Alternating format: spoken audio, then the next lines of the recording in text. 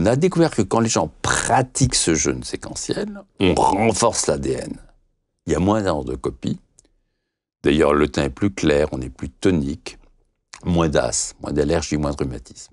En fait, tout se passe comme si dans une vie, on avait un nombre de repas limité à prendre. Aujourd'hui, en France, on ne meurt pas de carence ou de faim, on meurt d'excès. Digérer, c'est pas rien. On fait travailler une dizaine d'organes. Le pancréas, le côlon, le foie, les reins, des hormones, des enzymes, une usine. Il faut laisser au corps le temps de régénérer.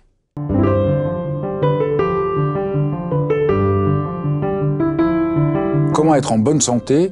Pour répondre à cette question, je reçois euh, Frédéric Salman qui va nous montrer toutes les dernières recherches dans euh, la médecine préventive et comment cette médecine rejoint les grands enseignements des traditions spirituelles de l'humanité. C'est passionnant et vous allez apprendre une foule de choses.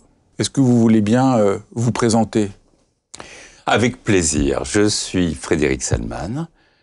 Je suis médecin, je suis cardiologue à l'hôpital européen Georges Pompidou à Paris. Également, je suis nutritionniste. J'étais prof de nutrition aux États-Unis.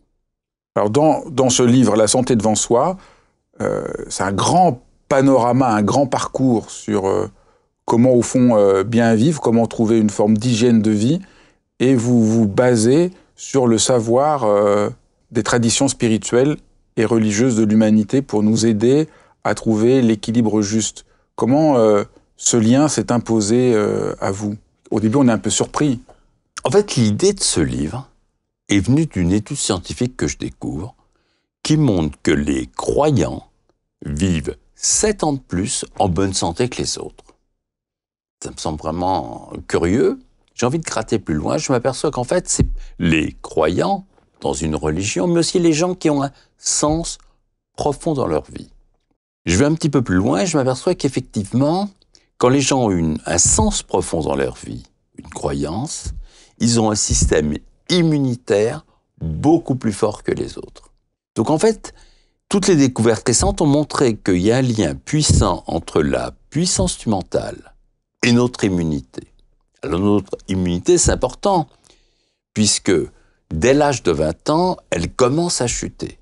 C'est pour ça qu'à 90 ans, on peut mourir d'une grippe. Notre système immunitaire nous protège des virus, des bactéries, des cellules cancéreuses qu'on fabrique tous les jours. Bref, si le système immunitaire n'est plus au rendez-vous, eh ben on meurt. Et c'est pour ça que tout ce qui peut augmenter notre système immunitaire, c'est vital. Il n'y a pas de médicament qui renforce l'immunité. Donc en fait, c'est dans le mode de vie qu'on va déterminer des outils pour nous faire vivre plus longtemps en bonne santé. Et donc, euh, les grands axes, c'est donc le rapport à notre esprit, le rapport à nos émotions, le rapport à l'alimentation, le rapport au sommeil. C'est un peu les grands axes. Alors, il y a beaucoup de choses. La force du mental compte beaucoup. D'ailleurs, par rapport au stress, on dit le stress, attention, c'est dangereux.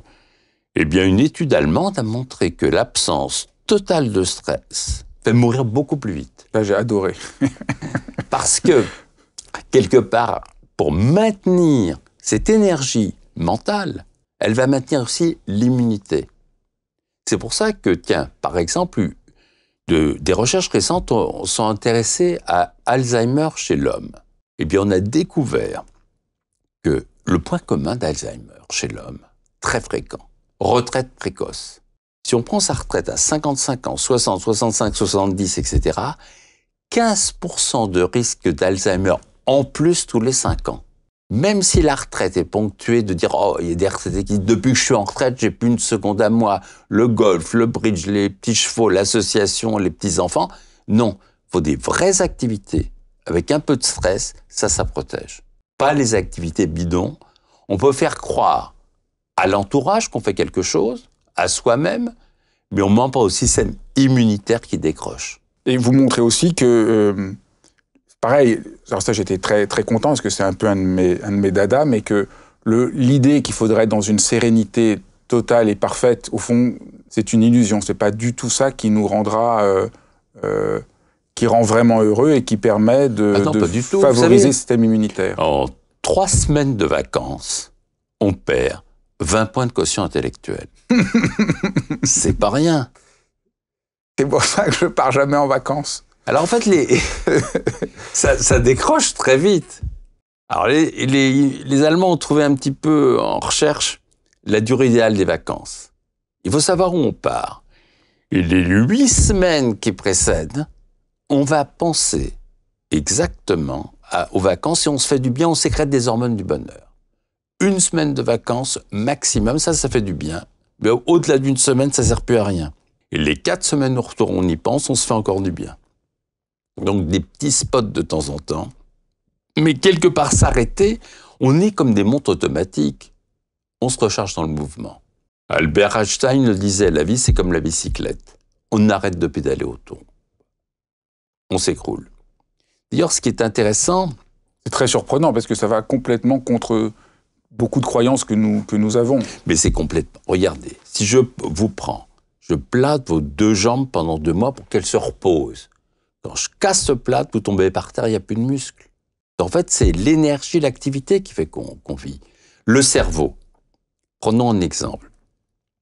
Si on pensait avant qu'on naissait qu'un stock de neurones, à la fin, il n'y en a plus du tout, on devient gâteux.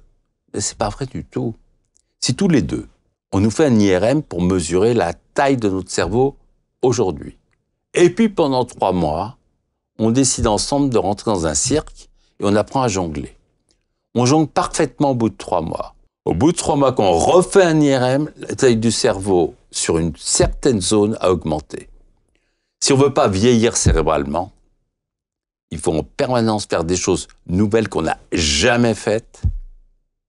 Et là, on va augmenter notre capacité cérébrale. Ce qui flingue le cerveau, c'est l'habitude, la répétition. Vous avez aussi trouvé une étude, j'étais absolument étonné, que visiter des lieux qu'on ne connaît pas, c'est vraiment, ça donne plus de, plaisir et ça participe de ce phénomène-là. Oui, parce qu'on va sécréter la dopamine, on augmente sa capacité. Aller tous c'est une étude américaine, c'est ça, où les gens ont vérifié euh, que si on voit des lieux nouveaux, donc il faut, il, faut, surtout pas aller au même endroit tous les ans en vacances. Alors je veux dire, j'ai pas de résidence secondaire. Tout le temps, il faut explorer des choses qu'on n'a jamais fait des cuisines qu'on connaît pas, rencontrer des gens inconnus, aller vers tout ce qui est inhabituel va stimuler notre cerveau et notre choix de vivre. Et alors, dans les grands préceptes des, traditions religieuses que vous avez regardées, euh, la question des, des rituels, on peut aujourd'hui comprendre pourquoi la fonction des rituels a un rôle important. Les rituels peuvent aider à certaines fonctions. Par exemple, pour s'endormir, il y a des gens qui ont besoin d'un rituel de se coucher à la même heure, ça fait du bien. De prendre la même boisson, la même tisane, la même ambiance. Il y a des rituels qui vont favoriser, par exemple, l'endormissement. Mais il ne faut pas non plus que la vie devienne un rituel complet où il ne se passe rien. C'est ça, une articulation un peu entre les deux. Entre les deux. Quand vous, vous, vous montrez qu'il ne faut pas sous-estimer la dimension spirituelle des, des patients, comment cultiver cette dimension spirituelle? Surtout que vous dites que même si on n'a pas de croyances religieuses, on peut cultiver cette dimension euh, spirituelle. Oui, parce que la spiritualité est une chose, la religion une autre. Il y a des gens qui ont une forte spiritualité. Il faut essayer de comprendre pourquoi une maladie apparaît. Dans le terme maladie, il y a mal à dire. Quand on n'arrive pas à exprimer ce qui ne va pas, le langage du corps, c'est la maladie. Donc quelque part, quand une maladie survient, j'essaie toujours de comprendre les racines. Un individu, c'est un tout. Donc la maladie correspond à une rupture d'équilibre. Pourquoi? Et c'est là une des racines passionnantes de la médecine préventive. Vous dites que l'optimisme joue un rôle euh, important. Bah oui, parce qu'on sait que les optimistes vivent sept ans de plus que les autres, ils font de vieux os. Donc quelque part, le fait de voir les choses avec un bon éclairage, dans toute situation, on peut se concentrer sur le pire ou sur le meilleur. Comment on fait pour essayer d'être optimiste? Déjà, il faut essayer dans une situation qui soit la plus... Euh, comment dire? On peut voir les choses de façon différente. Je suis rentré dans cet immeuble aujourd'hui, à la Défense. La Défense, c'est un quartier presque hostile pour moi. Parce qu'il n'y a pas le petit café du coin, il n'y a pas cette ambiance un peu village que j'aime bien. En arrivant, je vois une tour, et je me dis, c'est pas. Et je me dis, ah, c'est passionnant comme les gens vivaient dans les années 70. Je suis sûr que ça date de cette époque. Qu'est-ce que et quelque part, je suis passionné en recherchant les détails qui m'évoquaient l'année. En arrivant, j'ai demandé quelle année cette tour. 70, je dis bingo, j'ai gagné. Donc en fait, je me suis concentré sur quelque chose qui était positif. Un des aspects, euh, pour éclairer, disons, ce lien entre l'esprit et la santé, vous analysez euh, le vaudou. Alors j'ai trouvé ça vraiment passionnant parce que là, c'est vraiment une manière, euh, la religion vaudou que vous avez explorée, vous avez même été en, en, Dominique oui. pour explorer un peu. Ça permet de comprendre le, le lien entre l'esprit et, la santé, peut-être vous pouvez... Oui, j'ai une habitude par rapport à mes livres, je mets au moins deux ans pour les faire, c'est que je vais sur place essayer de comprendre. Je suis allé en Inde pour la médecine ayurvédique, à chaque fois j'ai besoin de rentrer en contact. Et effectivement, dans tout ce qui est vaudou, on comprend qu'à un moment donné, il y a une puissance du mental qui peut se soigner. Il existe au plus profond de l'être humain des moyens d'auto-guérison extrêmement puissants pour se protéger de nombreuses maladies et aussi souvent guérir. On s'intéressait par exemple à l'effet placebo. L'effet placebo, vous avez mal au dos, je vous donne un comprimé, je vous dis ça, ça va vous soulager. 40% des gens sont soulagés par ce comprimé qui était en fait du sucre. Mais vous ne le saviez pas. Alors vous dites, oui, c'est dans la tête, c'est psy. Et puis il y a eu une équipe italienne qui a eu l'idée de faire des prises de sang à tous les gens qui se disaient soulagés par un effet placebo. On a découvert qu'il y a une force du mental qui permet de sécréter des endorphines, comme de la morphine, pour se soulager tout de suite. Donc on a une pharmacie intérieure qui peut se déclencher par la force du mental, mais à l'inverse, il y a une force du mental qui peut déclencher des hormones corrosives, comme le cortisol, où les gens vont se bouffer, se ronger de l'intérieur. Et justement, la médecine vaudou intègre ces tendances pour que le sujet, par suggestion, arrive ou à soigner, mais il y a aussi des, espèces de magie noire que j'ai découvert pour, où les gens vont arriver à l'auto-persuasion qu'ils sont malades et vont devenir malades. Donc j'ai découvert qu'il n'y a pas seulement le, la magie noire, il y a la magie blanche. Oui.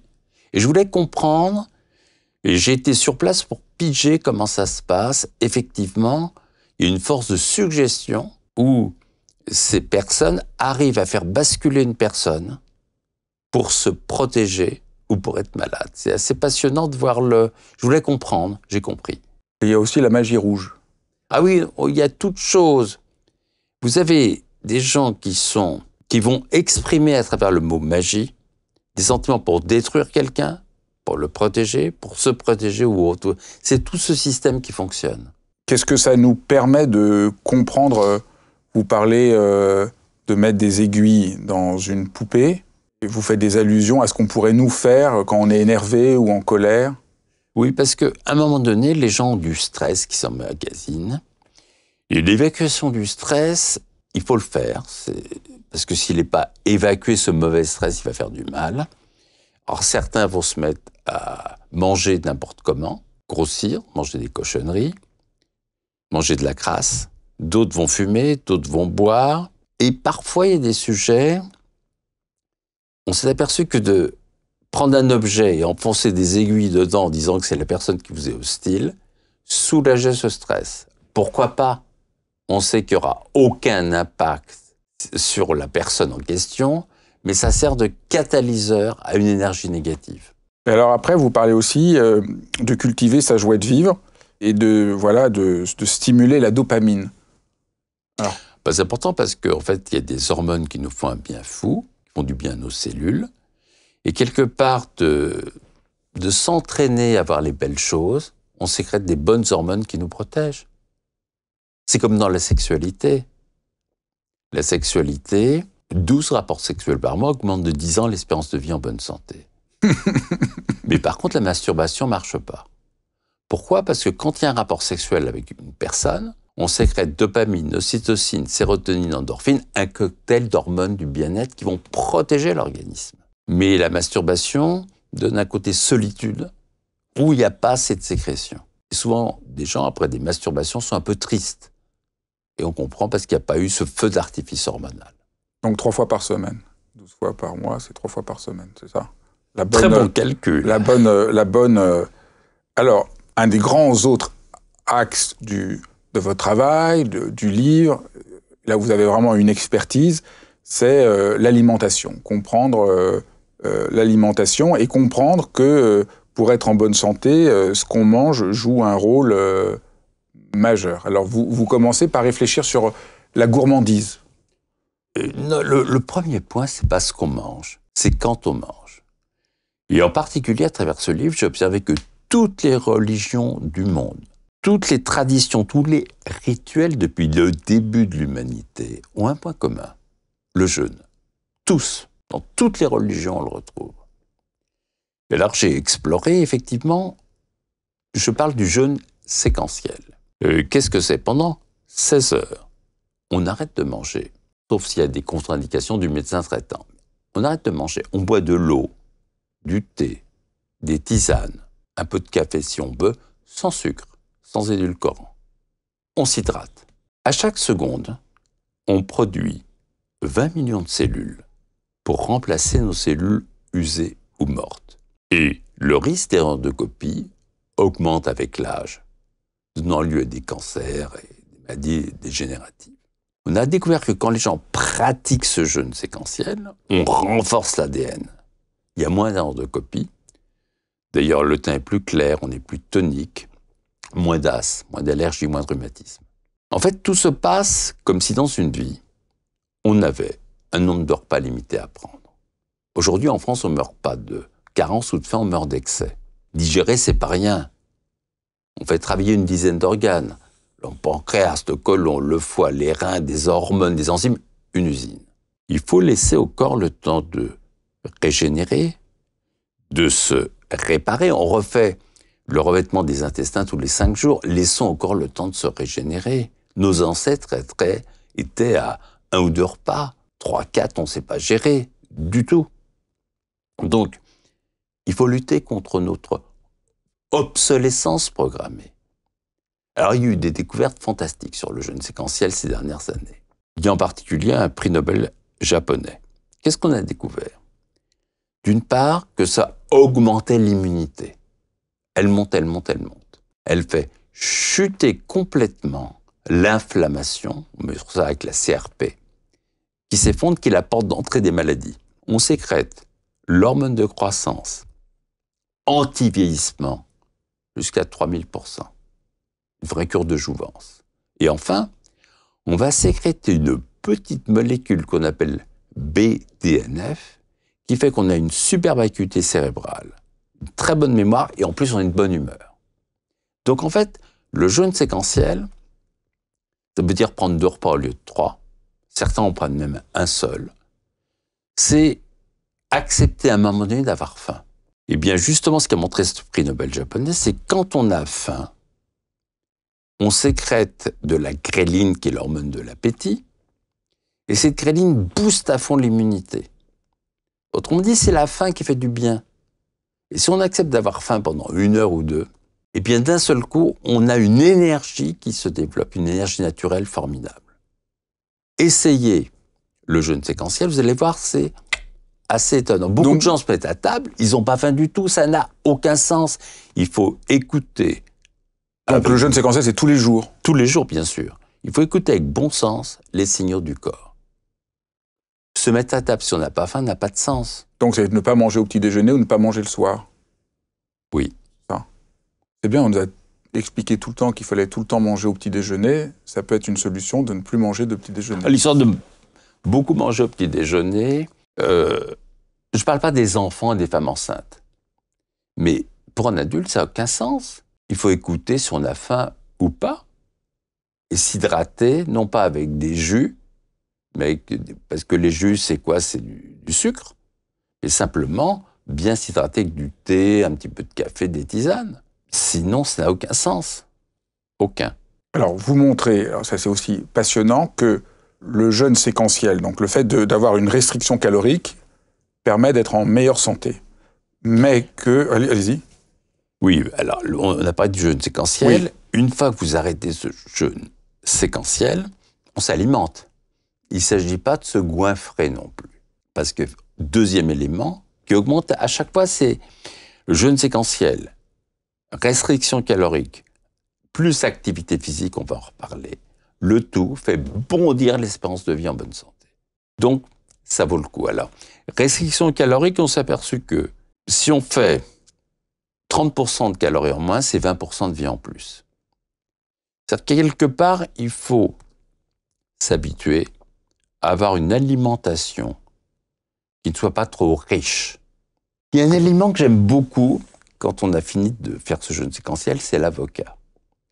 Parce que l'avocat, c'est un aliment qui est formidable. D'abord, il y a une coque importante, une peau épaisse, qui fait qu'il n'y a jamais de pesticides dedans. C'est pas peine de les acheter bio, les avocats classiques sont bons.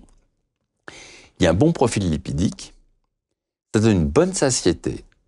Donc, quelque part, niveau appétit, il est bien contrôlé.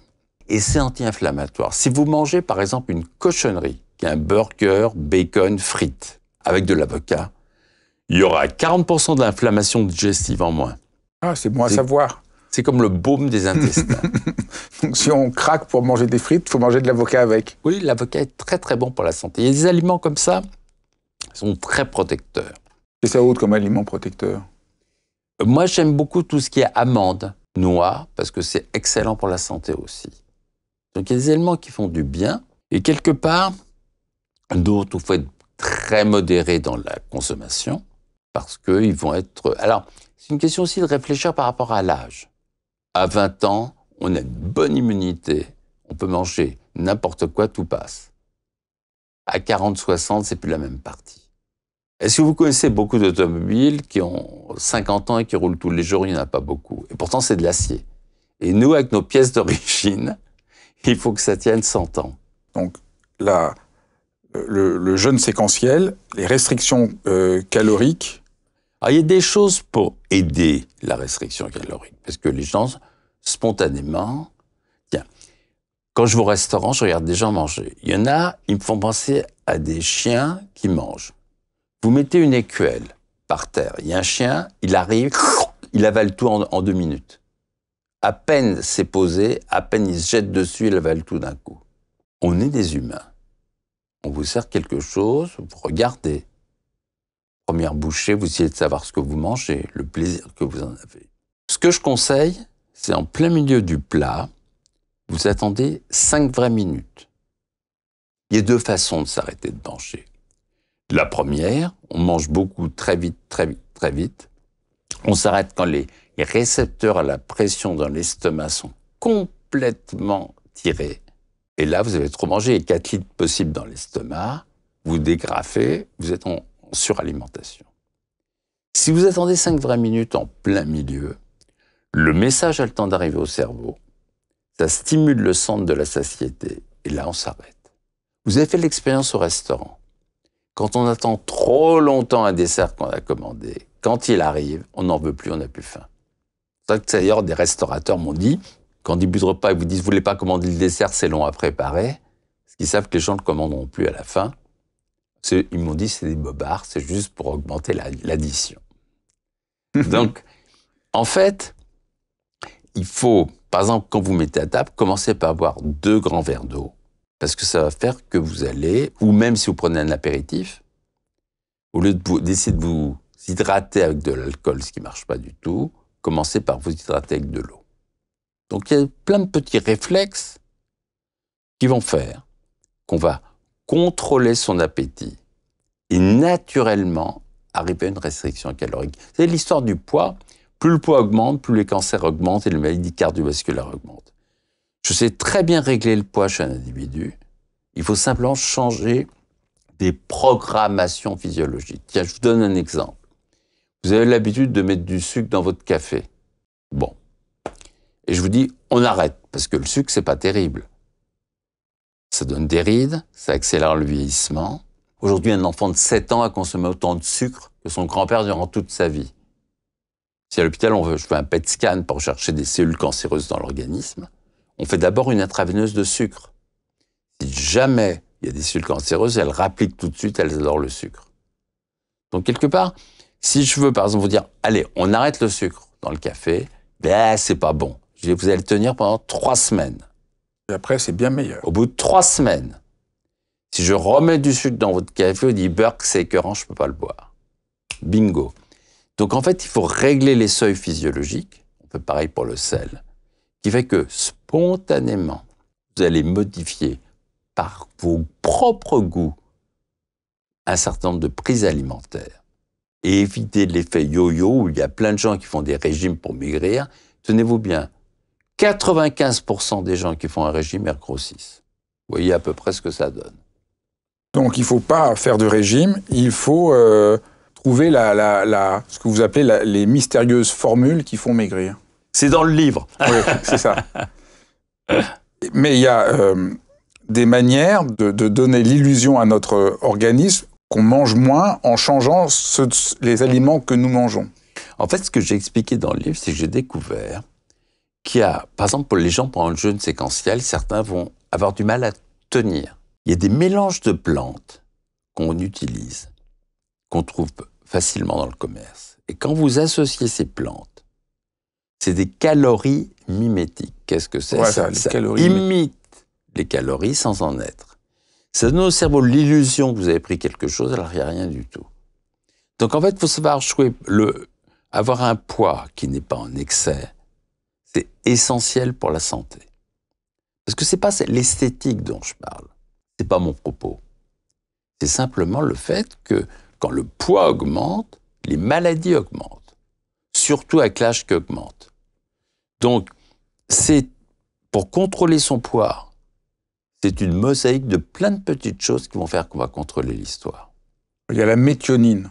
Le méthionine, en fait, c'est très intéressant parce que ça prouve qu'il en faut forcément, mais si on en prend trop, on en trouve par exemple dans les blancs d'œufs, dans les, les poulets, etc., on va jouer dans le mauvais sens sur notre longévité. Donc il faut pile la bonne dose. Un autre exemple très intéressant, c'est celui du fer. On parle d'une santé de fer, il faut du fer, Popeye et compagnie. Non, c'est pas vrai. Il y a eu une étude passionnante qui a eu lieu sur les donneurs de sang. On s'est aperçu, on a découvert complètement par hasard que ceux qui donnent leur sang font moins de cancer et moins de maladies cardiovasculaires. L'explication, elle est simple. Quand on dose le fer dans le sang, la ferritinémie, on voit qu'il y a des écarts euh, énormes. Eh bien, il ne faut pas se situer en haut, mais au ras des pâquerettes. Pourquoi? Dans l'organisme, on a de quoi fabriquer un clou avec tout le fer qu'on a. Mais quand on a trop de fer, on va rouiller de l'intérieur. Et- Donc, donc c'est pas vrai tout ce qu'on raconte qu'il faut prendre du fer, qu'on manque de fer, que ce soit qu'on fait de l'anémie parce qu'on n'a pas assez de fer. Sauf si votre médecin traitant vous dit vous avez une anémie parce que vous saignez quelque part où il y a un problème. Il va prescrire du fer en cherchant la cause de l'anémie. On voit des patients qui font une anémie, ils manquent de fer. Tout de suite, on va donner du fer en comprimé et chercher pourquoi. Ça peut être un cancer digestif, ça peut être un problème gynécologique. Il y a plein de choses qui font que on- quel- un individu en anémie, il faut connaître la cause de l'anémie. C'est pas le fer. Le fer, c'est une conséquence. Mais quelque part, quelqu'un qui se bourre de fer en complément alimentaire ne va pas jouer dans le bon sens. En complément alimentaire, il y a des gens qui prennent des tas de pilules. Euh, certaines servent à rien. D'autres peuvent augmenter les risques de cancer. Il y a un seul complément alimentaire qui est intéressant, c'est la vitamine D, celle qu'on a par le soleil en particulier. On peut doser dans le sang la 25 hydroxyvitamine D, on sait si on en manque ou pas à peu près 40% des Français en manquent. Et quand on manque de vitamine D, ça augmente les risques de cancer ou de maladies cardiovasculaires. Donc c'est une bonne chose De prendre un supplément de vitamine D. si... Mais moi j'aime bien que ce soit prescrit par un médecin qui a vu... Et qui a fait une prise de sang. Oui, enfin, il faut faire une médecine de précision. Il s'agit, bon sang, de notre santé. Et euh, pour la vitamine D, vous recommandez euh, les ampoules qui sont fortement dosées ou des suppléments euh, quotidiens? Ça dépend des niveaux. C'est très technique. C'est-à-dire, pour une réponse comme celle-ci, ça va dépendre du, des taux et de l'ensemble. C'est pour ça que j'aime bien que ce soit médecin traitant qui prescrive de façon précise ce qui manque. Alors il y a aussi le, le rôle du sélénium, Oui. sur lequel vous insistez. Qu'est-ce que c'est et pourquoi? Alors, le sélénium aurait, parce qu'on n'a pas encore toute une possibilité d'aller mieux. Mais comme je le dis, je parle au conditionnel. C'est une hypothèse. Alors parfois, il y a des éléments qui sont assez intéressants. On voit qu'il y, a beaucoup d'études en pharmaceutique pour sortir des médicaments. Un médicament, ça coûte un milliard d'euros d'études. Mais pour ce qui est des aliments naturels qui sont pas profitables, il n'y a rien. Parfois, on trouve des études chez le ver de terre, chez la levure, chez la souris. On se dit, tiens, l'air de pas mal marcher. Mais il n'y en a pas chez l'homme. Alors, c'est presque un pari. Dans certains cas, on se dit, tiens, ça a l'air de marcher. Dangereux, pas dangereux. Si c'est sans danger, pourquoi ne pas essayer? Ça vaut le coup. S'il y a un danger, on n'y va pas du tout. Donc parfois, on s'aperçoit qu'il y a des nutriments qui ont un intérêt. On se dit, tiens, je peux le faire pari, le pari de choisir les aliments qui, qui sont riches ou pas. Donc le sélénium, c'est un petit peu, il y a des, un faisceau d'arguments qui montrent que c'est utile, mais pas assez pour que je veux dire qu'on en prescrive à une population entière. Mais il y a des aliments qui ont plus de sélénium? Oui, on va trouver parfois.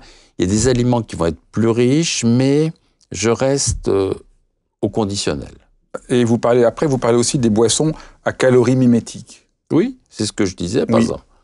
Ou si vous prenez par exemple euh, des mélanges, c'est plutôt des mélanges, ce que j'explique dans, le livre, comme l'hibiscus, comme euh, les germes de blé, des graines de cacao. Quand vous mélangez un certain nombre d'éléments, eh bien, ça va avoir une action calorie mimétique. Vous, vous en prenez, vous? Oui, bien sûr. Qu'est-ce que vous, qu'est-ce que vous prenez? Alors moi, je me fais des mélanges. Euh, à chaque fois, j'ai une base d'hibiscus auquel je rajoute un certain nombre de germes de blé, du cacao, etc., mais en, graines, avec de l'eau. Mais donc, vous avez plus quelque chose que vous mangez que vous buvez? Ah non, je bois. Ah donc, vous, vous mettez les germes de, de, blé, mais juste pour que ça infuse Infuse, oui. Ah, c'est une boisson tout à fait... Alors ça, j'étais étonné. Je me suis dit, ça, c'est une boisson très originale. Oui. Hibiscus, germes de blé et du cacao. Dans euh, des graines de cacao. Et quand on prend toutes ces proportions, on, effectivement, on n'a pas faim du tout. Vous parlez aussi des éléments, euh, des aliments euh, interdits. Dans toutes les traditions religieuses, il y a des aliments interdits et vous revenez dessus. Par exemple, pourquoi dans beaucoup de religions, on ne mange pas de cochon? Oui, il y a des aliments qui sont complètement interdits dans des religions. On se demande un petit peu pourquoi. Alors moi, j'ai recherché un petit peu l'origine. On s'aperçoit que c'est des aliments, je pense, qui ont eu, par exemple, si on prend le cochon, on a un système très, c'est très, très proche de l'homme, le cochon. On a même pris des valves de cochon qu'on a implantées chez l'homme. Donc c'est très proche. Et il peut y avoir ce qu'on appelle des zoonoses. En particulier, il y a des coins un peu perdus en Chine où des gens vivent dans les mêmes pièces avec les cochons qui sont en très grande proximité, et il y a des virus qui peuvent passer de l'un à l'autre. Donc il est possible qu'il y ait, dans des temps très anciens, des observations qui aient eu lieu. C'est une vraie réflexion que j'ai parfois un petit peu, que j'arrive à comprendre. Peut-être que c'est venu de liens santé qui existaient. C'est une hypothèse. Après, vous parlez euh, de, des fraises, du rôle des fraises on va pas parler de tous les aliments, mais je peux vous en citer comme ça quelques-uns parce que c'est vraiment passionnant. Alors, les fraises peuvent jouer un rôle euh, important, mais il faudra manger 37 par jour. Oui, alors, parfois j'entends des... On met un aliment en avant en disant il est formidable pour la santé. Je prends l'étude parce que j'adore faire de la bibliographie et je m'aperçois que la quantité qu'il faut en prendre est colossale. Les fraises, il faut en manger 37 par jour, c'est trop. Donc ça colle pas. L'oignon, on dit l'oignon fait la, force, why not? Mais pour que ça marche, il faut prendre au moins un oignon entier cru tous les jours. Alors peut-être que ça marche, mais on est terriblement seul après. Et le café? Alors le café, c'est intéressant parce que je veux dire que c'est vraiment, ça illustre très bien à propos que c'est la dose qui fait le poison. 3 à 4 cafés par jour, c'est bon pour la santé, il n'y a pas de problème. Au-delà, c'est plus bon du tout. Donc en fait, il y a des aliments qui sont bons à une dose précise et ils deviennent très mauvais à une autre dose. Le chocolat Alors, le chocolat noir, c'est un de mes dadas. D'abord, le chocolat noir, 100%, c'est un coupe-fin. Deux carrés, faites l'essai on s'arrête, on ne peut plus rien manger. Surtout si vous le gardez en bouche, vous ne buvez pas d'eau en même temps. Vous allez voir ça. On s'arrête. Arrêt sur image. Et surtout, quand on prend du chocolat noir, au moins à 85%, on va dire entre 2 à 4 carrés par jour, il y a des études qui ont montré que ça jouait en baissant un petit peu la pression artérielle. Les artères sont plus souples. Et c'est excellent pour la santé. Et en plus pour le moral. C'est extraordinaire. Euh, l'alcool. Ah. Alors l'alcool, pas plus de 10 verres par semaine avec deux jours sans boire. C'est une question, il faut boire avec modération. Oui, c'est une évidence. Il y a des gens qui vont prendre un verre le soir de vin rouge, ça les détend, ça baisse le stress, pourquoi pas? En 68, sur les murs de Paris, il était écrit il est interdit d'interdire. Donc quelque part, si ce verre que vous prenez pour le plaisir et ça vous détend, pourquoi pas? C'est l'excès qui est dangereux. Et c'est mieux le vin rouge que le vin blanc ou... J'ai une préférence pour le rouge au niveau des polyphénols. Et il y a moins de sulfite. L'autre grand axe, après on va pas tout dire, on enverra les... il faut, lire votre livre parce que toutes les pages on découvre des, choses euh, nouvelles, c'est euh, l'exercice physique. Oui, parce que si on fait 30 minutes d'exercice physique par jour sans s'arrêter, on baisse de 40% cancer, Alzheimer, maladie cardiovasculaire. Les 20 premières minutes ne servent pas à grand-chose, on brûle du sucre, mais après on brûle des mauvaises graisses. Et on libère, tenez-vous bien, 1004 molécules protectrices, un vrai bouclier, mais qui ne dure que 24 heures. C'est vrai qu'il y a des gens qui vous disent ouais, je fais du sport le week-end. Je leur dis tant que vous y êtes, vous lèvez les dents que le week-end. C'est tous les jours. Donc, il y a des gens qui disent ouais, mais j'ai pas le temps. Ben, c'est des bobards. Tous les jours, vous passez je suis sur au moins une heure sur cet appareil. Les mails, les SMS, les coups de fil, Internet, les réseaux sociaux. Eh bien, vous allez faire comme moi. À la maison, j'ai un vélo d'appartement. Et bien, tous les jours, je me lève, je bois du, euh, mon thé et je m'installe sur ce vélo. Et je fais mes coups de fil, mes mails, mes SMS dessus. Tout le monde peut le faire. Ici, dans cette pièce, c'est ce qui manque. Je vois un bureau où on est assis avec une chaise, mais c'est des conneries, ça. Il faut rester assis sur un vélo en train de bouger. Bonne idée. Je suis en train de préparer vos 120 prochaines années. C'est bien. Euh, je pense que c'est on a, on, a, fait le tour. Est-ce qu'il y a d'autres choses que vous, que vous, essentielles que vous voulez euh, ajouter? Oui. Euh, J'aime beaucoup ce que vous faites, vos livres, c'est bien, on va dans le même sens du bien-être, de la santé, de l'harmonie. Mais je voudrais que vous le fassiez encore très longtemps, pendant au moins un siècle. Et pour cela, je voudrais que vous... Faites-moi plaisir. Appliquez tout ce qu'il y a dans le livre pour vous dès aujourd'hui. Ah, merci beaucoup. Merci, merci d'avoir suivi cet épisode de dialogue et euh, je vous souhaite la même chose que Frédéric Saman vient de me souhaiter, de pouvoir mettre en application tout ce qu'il a dit pour que nous restions tous en forme très longtemps. À très bientôt. N'hésitez pas à vous abonner pour ne pas manquer les prochains épisodes de Dialogue.